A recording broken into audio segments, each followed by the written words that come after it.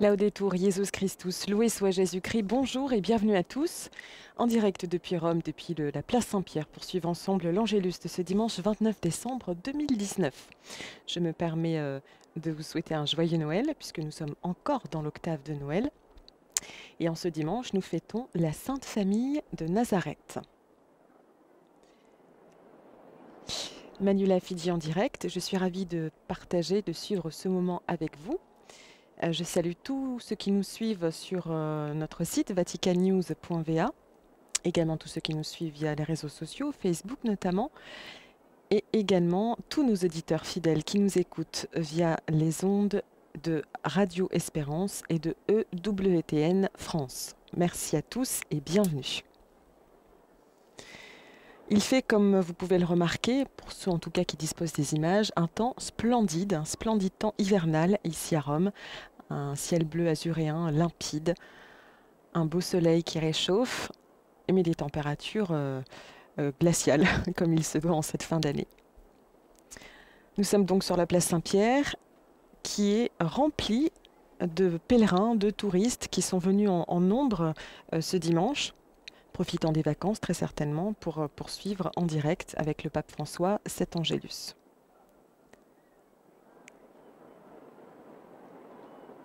Rome, en ces jours-ci, évidemment, euh, attire beaucoup de, pèlerins, mais aussi de touristes, évidemment, qui souhaitent passer les fêtes de Noël et euh, le passage à la nouvelle année dans la ville éternelle.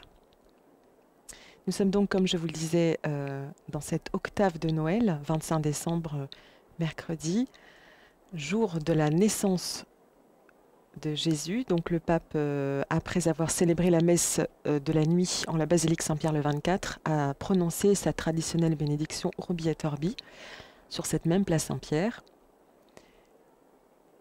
Ensuite, toute cette semaine, nous avons fêté Saint Étienne, premier martyr, également Saint Jean l'évangéliste.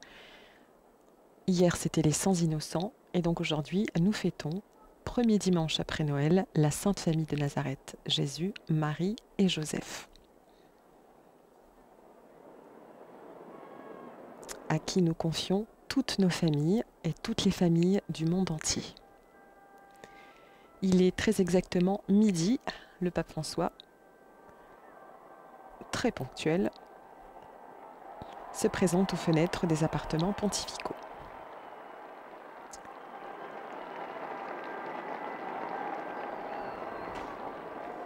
Nous écoutons maintenant la courte catéchèse du pape François. Cari fratelli e sorelle, Chers frères et sœurs, buongiorno. bonjour. E davvero oggi è una bella giornata. Et aujourd'hui, vraiment, c'est une belle journée. Celebriamo oggi Nous célébrons aujourd'hui la fête de la Sainte Famille de Nazareth. Nazareth. Il termine santa Le terme sainte questa insère cette famille dans le cadre de la sainteté, qui est don de Dieu, mais en même temps, adhésion libre et responsable à son projet, au projet de Dieu. Il en a été ainsi pour la famille de Nazareth. Elle fut totalement disponible à la volonté de. Dieu. Comment ne pas rester étonné par la docilité de Marie à l'action de l'Esprit Saint, qui lui demande de devenir la mère du Messie.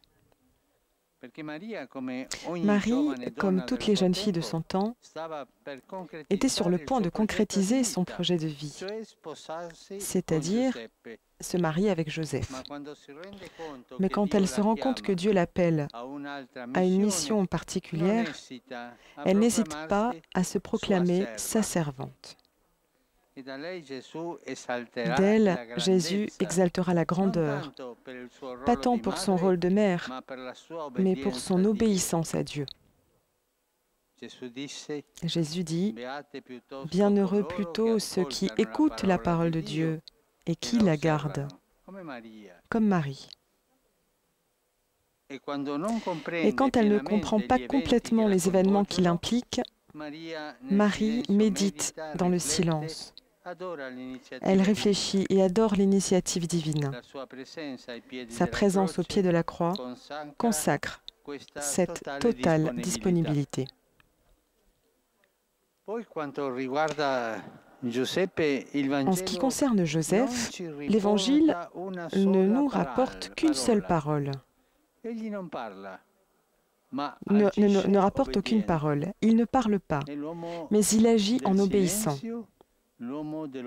C'est l'homme du silence, c'est l'homme de l'obéissance.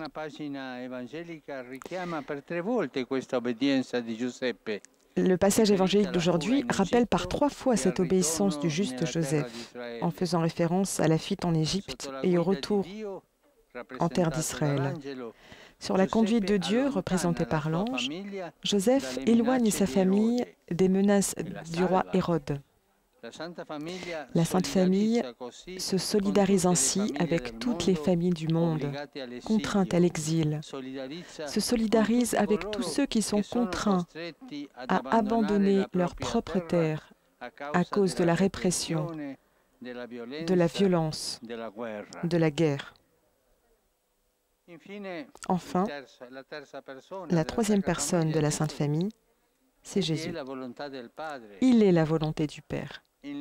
En lui, nous dit Saint Paul, il n'y a pas eu de oui et non, mais seulement oui.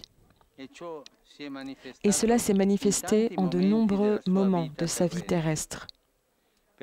Par exemple, L'épisode au temple, quand à ses parents qui le cherchaient angoissés, il répondit Ne saviez-vous pas que je dois m'occuper des affaires de mon Père?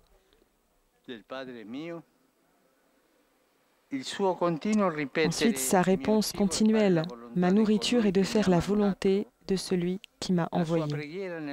Sa prière dans le jardin des Oliviers.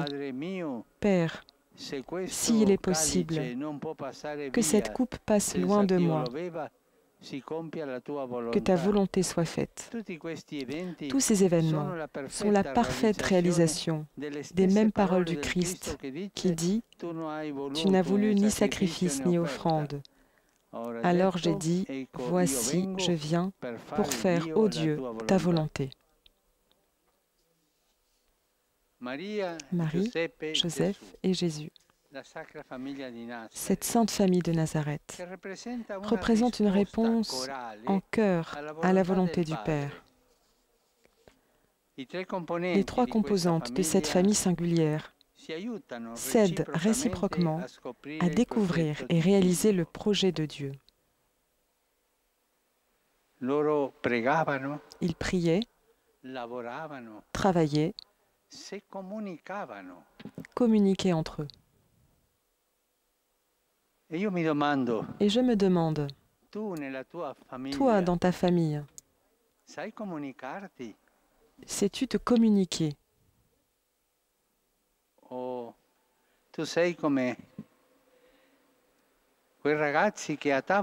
bien es-tu comme ces jeunes à table, chacun avec son petit téléphone en tapotant. Il y a un silence comme si on était à la messe. Ils ne se communiquent pas.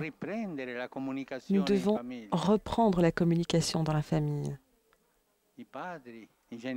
Les parents, les enfants, les grands-pères, les grands-parents se communiquer entre eux.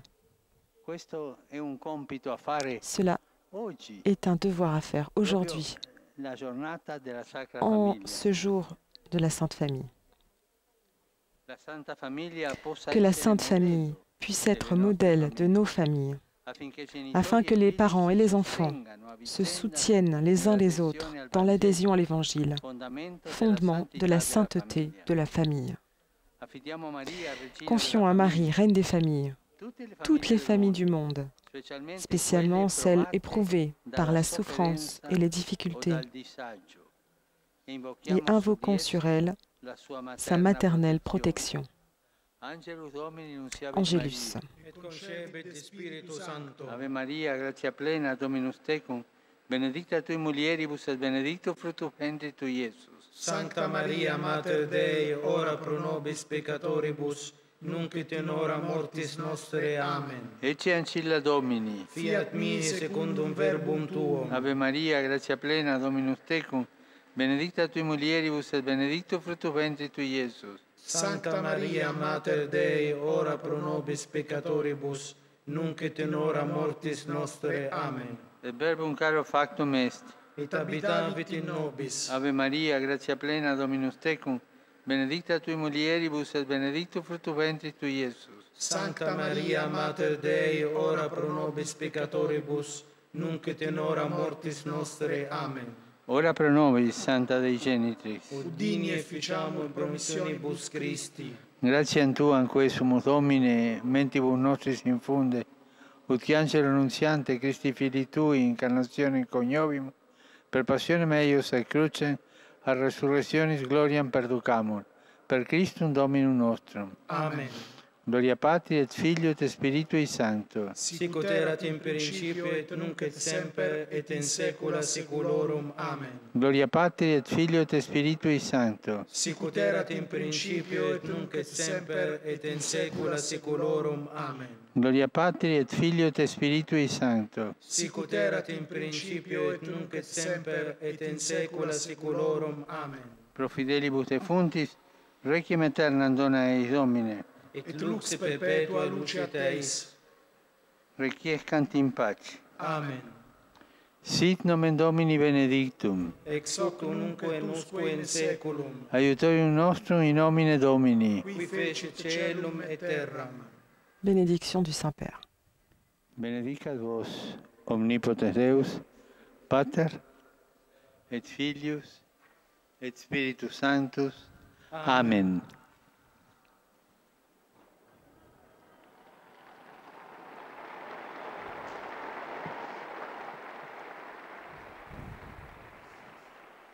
Chers euh, frères et sœurs, prions le Seigneur pour les victimes de l'horrible attentat d'hier à Mogadiscio, en Somalie, où plus de autobomba 70 personnes sont mortes dans l'explosion d'une voiture piégée. Je suis proche de toutes leurs familles, de toutes leurs familles et de tous ceux qui pleurent leur disparition.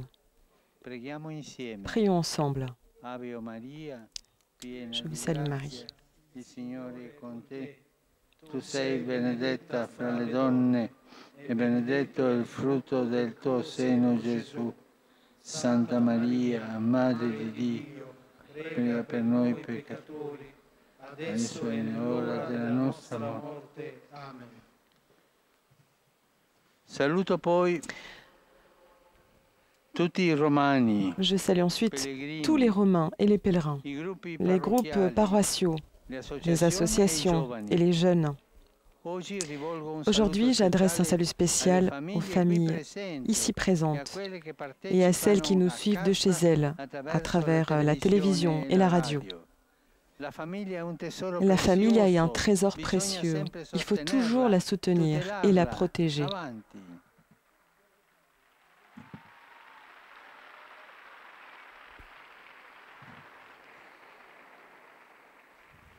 Je salue ensuite les étudiants de Forlì, i, ra- i ragazzi della les confirmants de Adrara San Martino, de Calcinate. Et le groupe euh, des jeunes de la paroisse San Giuliano en Albino à Bergame. Saluto tutti. Je vous salue tous. E et je vous souhaite une- un bon dimanche. E et une fin d'année sereine.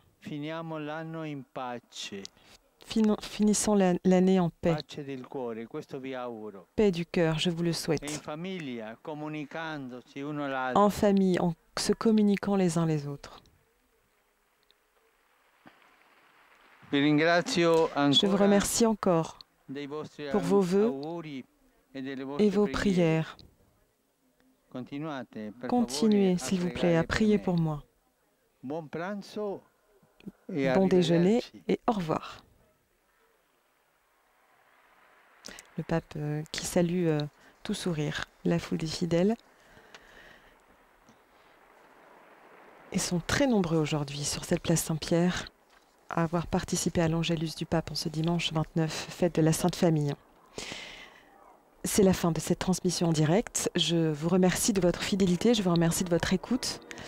Euh, je vous souhaite à mon tour une bonne fin d'année, une fin d'année sereine, comme l'a dit le pape, et je vous souhaite tous mes meilleurs voeux pour l'année 2020, en notre compagnie bien évidemment. Laudetur, Jesus Christus.